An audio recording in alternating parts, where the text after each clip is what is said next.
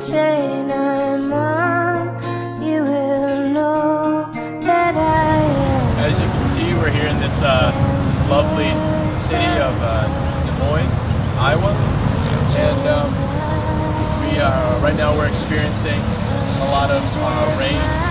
We experienced that uh, the last couple days, and as a result, we have a flood here. Um, uh, last night we were in a flood watch. Several houses were uh, were actually flooded all the way up to the, uh, the second floor.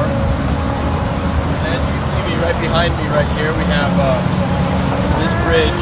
I was up a little bit higher last night, uh, a little bit down.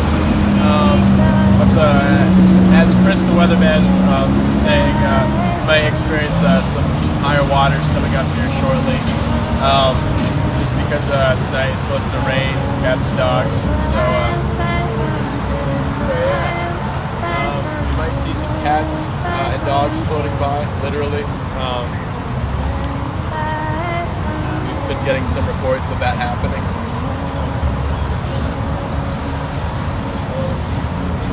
That is all. Back to you, Ken.